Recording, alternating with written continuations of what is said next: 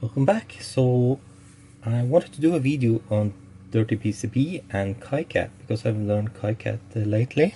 With Dirty PCBs it doesn't support the uh, output file directly, the uh, KiCad underscore PCB, so you have to plot them as Gerber's files.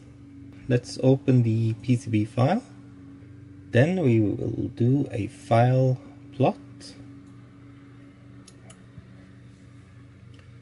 Now we want Gerbers, so what I've done, I made another directory for Gerbers, and you have to select Gerber, and uh, you will select these uh, layers which are important for your fabrication. Copper layers, silk screen, uh, solder mask, you have to use the edge cuts. These are the settings I have, plot footprints, values, references and such, so... And then you also have to select use Protel file extensions. So what happens, I can show you if you click plot now. You get these uh, file extensions which has GTL. If you don't do that, you will get the GBR for every file. So include extended attributes. I'm not sure what all of this is. Okay, so now you have created the uh, Gerber files. You can look inside the directory, into Gerbers in your project and here you go. So, and one thing you need to do, this is something that happens in 2014, I think. They changed KiCad to rename GML to GM1, so you have to rename it back to GML. I don't know this is so. Anyhow, like this, or else you will get a complaint from Dirty PCBs when you try to upload it. So going back, we need the drill files also. Generate drill file. And you get this window and it says, um, I will put them in the same directory. So you have Gerber's here, inches, decimal format, that's important. And then Gerber. And here is a little, little clue. Uh, if you don't merge the plated through hole and non-plated through hole holes, into one file. Don't do that, you will get two files if you have a non-plated hole.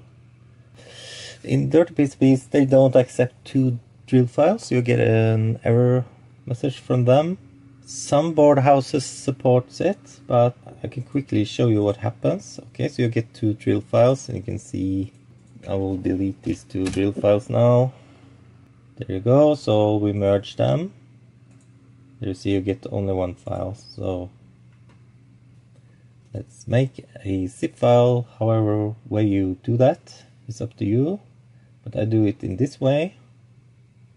I get the Gerbers I take the Gerber file into PCB okay so there's a file. Click open.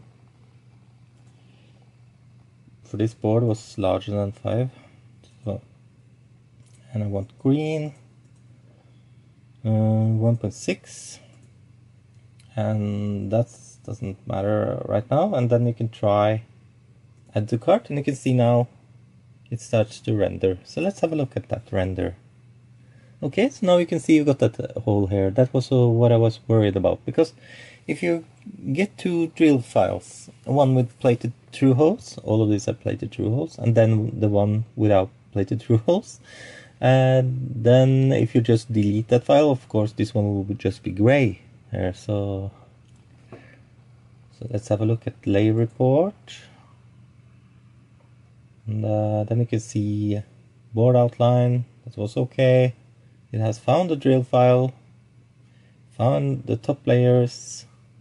You see top overlay silk screen it's silk screen so it, all this is true. So that's something you should look out for um, and remember that you had to uh, change GM1 to GML. So now it's not complaining. I can show you that. What happens if you, let's do this over again. So say, okay, let's go over. So file, plot, Gerbers, plot, generate file. Let's say we didn't merge them, okay, drill file, so that's it.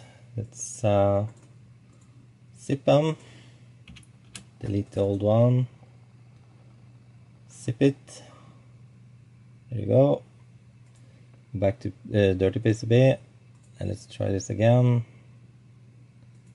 Maybe I should uh, remove the board first, not sure. I'm not sure if that's important, but um, Gerber um, green 1.6 add to cart. There you can see.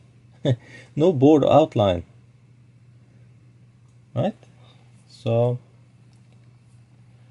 this part of the video is just uh, telling you what will happen if you don't do the suggestions I uh, made for you. So so GM1 is GML Windows will complain because you're changing a uh,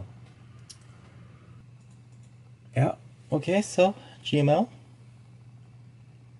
Let's go back, do it over again, see what happens. Zip. Gerber zip. Now I think I can uh, edit. So I don't have to do everything over again. So 10 green 1.6 save and now it should render and uh, let's have a look at layer report. Look we have an error here. I don't know why it didn't say that but you have to check these things.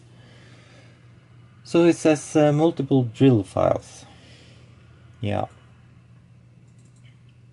That was what I was talking about. So if I stupidly just remove it then I'm missing a hole right? So that shouldn't work. You can try it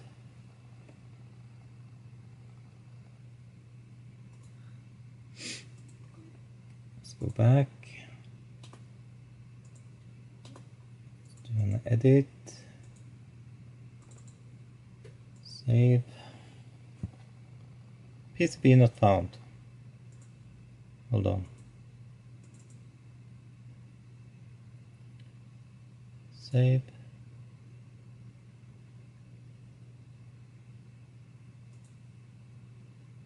Okay now we don't have an error on the borderline anymore. But if we go back, you can see that this uh, hole here is gray. Right? Is supposed to be white, you know?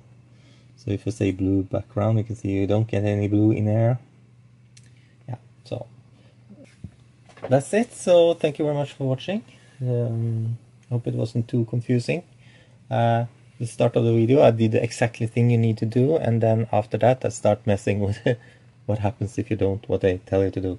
So now I'm not uh, going to order this part so I'm you know this is just what uh, the, the web page tell you. Another thing is that when the board house get your files uh, something they might find something not working with the the um, Gerber files. So, but then you will get an email, most likely, about that. So, yeah.